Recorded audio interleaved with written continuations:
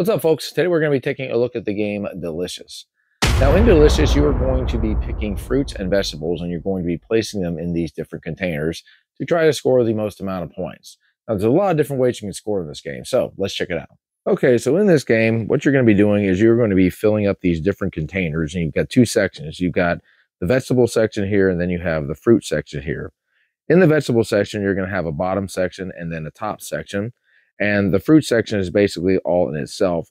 You're mainly going to be scoring with rows and columns in this section here. And in this section, you're going to be working your way up uh, to get the most points.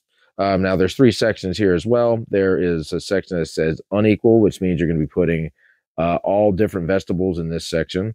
This one is pairs, so a pair of lettuce and a pair of peppers, for example. And then you have one that is equal, which means all of the vegetables are going to be equal here. And as you are able to fill these up, you're going to be able to get a higher score. Um, now, in this, you're going to basically be trying to score with the rows and the columns. Uh, let's say you were able to get four in a row over here. If it was different fruits, you would score two points. If it's all the same fruit, you would score four points. And the same goes with columns when you're going that way. Uh, you can score this amount of points as well. So you're basically trying to pick out what vegetables you want, what fruits you want, and then trying to manipulate them into these different sections here to try to score the most points.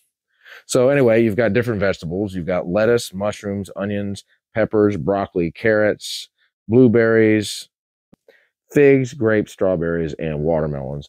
And what you're going to be doing is you're going to be drawing these on there uh, onto the paper as you get them. So this just gives you a little illustration example that you can use. Also, you're going to have a bag that's going to have full of tokens on here, and you're going to just draw them here from the bag like so. And the card is going to tell you which side it's going to go on. There's a fruit side, which is this, and then there is a tool side, which is that. So right now we've got the fruit side. These arrows here are going to represent where this where this vegetable is going to go. This one's going to go here into the upper section as the arrow indicates, and this one's going to go in the lower section as the arrow indicates. And the fruit basically is going to be the ones you'll be able to choose from for this section. Also, in the lower right section of the card, you will see a shape along with the fruit. This will tell you which shape in the fruit section that that particular fruit will go. Over here, these are what you're going to be able to do as far as your plant choices. You can choose one vegetable or fruit from the top or the bottom. You can swap the positions, meaning you could uh, put this on top, put this on the bottom, and then you could choose one of them from there. You could choose both of uh, the vegetables or the fruits, but you would have to put them in the top and bottom respectively. And then this one means to anywhere. So you could take both of these and put them in the top section, for example. So let's just say I decided I was going to go ahead and choose pepper and I just was going to only choose pepper. Would go ahead and mark this off, and then I would draw a pepper somewhere. And again, you're going to be moving from the bottom up. So let's just say I drew a pepper here somewhere like so, and that would be my turn. Now let's just say I was decide I was going to pick a fruit. Um, so I would go ahead and say, okay, I've got a fig here. Where do I want to put the fig? Let's just say I'm going to put the fig right here somewhere, and I just draw a fig, which is not going to be very good because I'm drawing a left hand, but that's okay. There's my fig. After both players have gone ahead and uh, chosen what they want, you're going to go ahead and put this in a compost pile, and then you're going to draw two more cards and two more tokens. So here's one that's got a tool on it, and that's a shovel. And let's say, say this has a fruit on it, so this will be a strawberry. Now, in order to use the tools, what you're going to have to do is you're going to look here on your score sheet here and see if there's a tool in a certain box.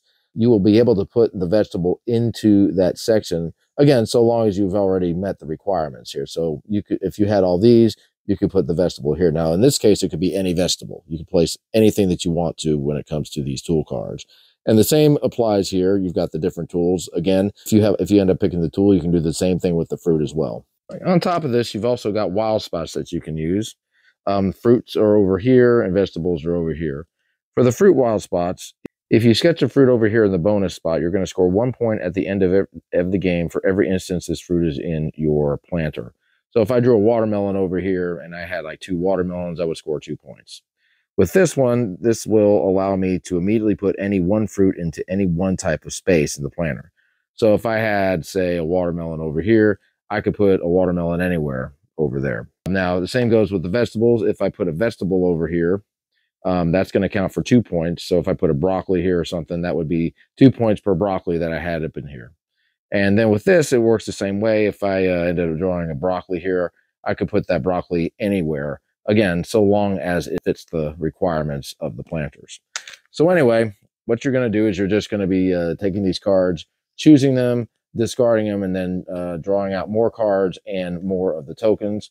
And you're just going to keep on building up on this until you end up running out of cards. And what you're going to do is you're going to count up your points.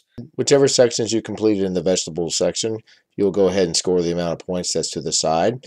For the fruits, you will score for each row and column that you completed, and you'll just simply follow the score guide on the bottom to determine how many points you got.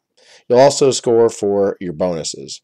Also, you will get bonuses. Uh, if you are the first person to fill one of these, you are going to get a one point bonus, and you'll just go ahead and put a one there and mark off the check mark.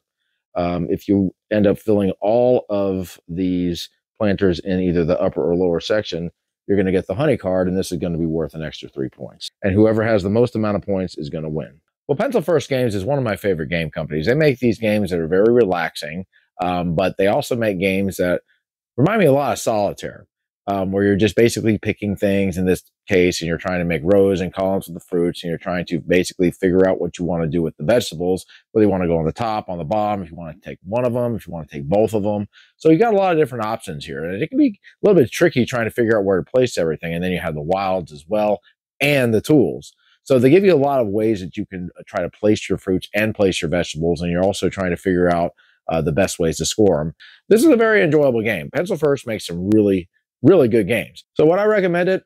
I would definitely recommend it. I would definitely recommend checking out Pencil First Games. Uh, all right, guys, that's my review of Delicious. We'll catch you later. Keep on gaming.